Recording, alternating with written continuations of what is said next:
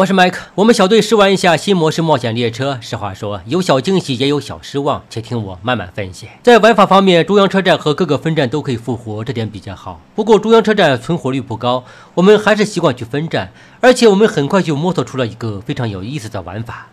来到车站，队友分散去搜集物资，而我第一时间跑向四周年庆典舞台，那里可以拿到冒险。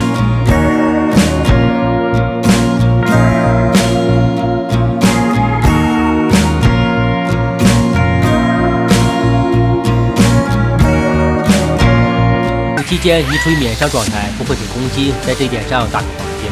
然后接下来会出现一些个人的游戏历程。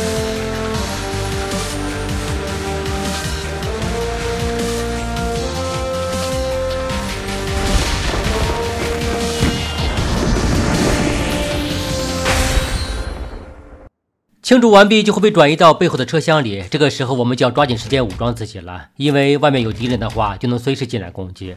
我已经被暗算过无数次，所以单人四排玩这个模式的话会非常困难。这里会出现四个磁吸小火车，至于具体玩法稍后马上展示。个人认为这是本次新模式唯一能让我有点兴趣的地方。这一次还增加了新武器 PKM 机枪，增加扩容弹匣后拥有一百五十发的七点六二种弹量，然后射击手感的话还算比较稳，射速的话感觉略高于 MG 三的六六六，但是在威力方面，嗯，我感觉大家还是自己看比较好。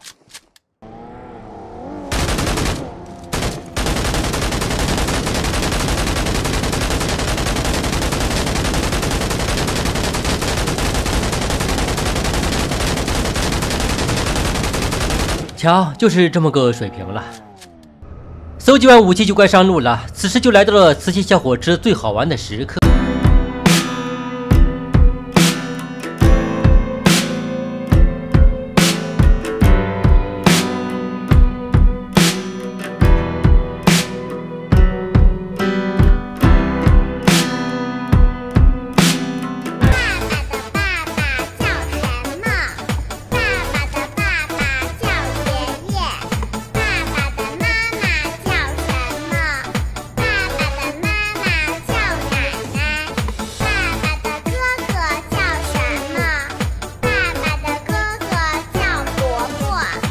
小伙伴们，这就是磁吸小火车真正的玩法了。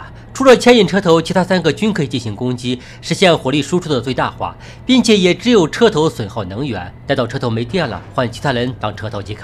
这个时候你可能要问了：这么强悍的武装列车，真正的战斗力如何呢？唉。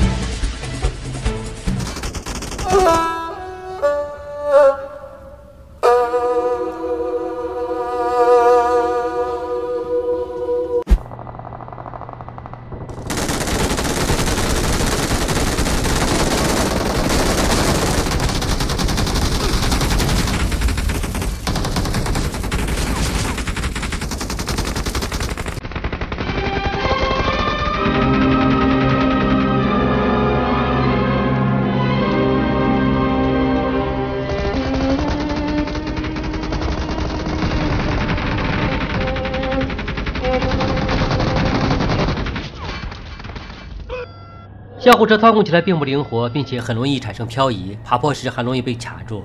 我感觉下一步光子可以适当增加一下其离地高度，否则这小火车就是个鸡肋。与此同时，这就要说到对于本次新模式我个人不满意的地方了。纵观往期那些，基本每次都拥有上方登高的道具，不管是蹦床还是狮子舞龙，这可以让大家实现一些很有趣的战术。但是冒险列车没有一项这类道具。直接就大大降低了我个人对这个新模式的兴趣，也不知道光子是咋考虑的，大家是否有这种同感？好了，我们已经抵达东侧大桥，不管游戏模式如何改变，我们赌桥的冒险精神永远不会变。为此，我今天特意备了两挺 PKM，就为了一次过独眼。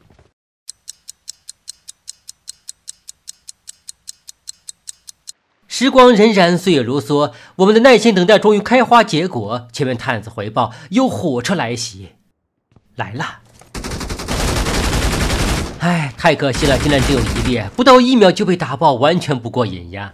看样子他还有队友，如此一来，他的队友知道了这边的情况，应该不会再过来了吧？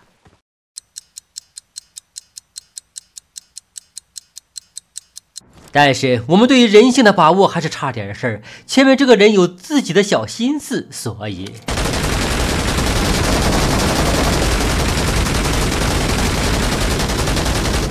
队友之情如此淡薄，令人唏嘘。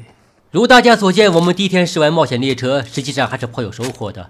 这一局也很有吃鸡的可能。然而世事无常，三岛突然就说有急事离开，导致我们的武装列车直接就失去了一节，火力输出能力被极大削弱。这盘鸡怕是凶多吉少，所以接下来的镜头就不便展示了。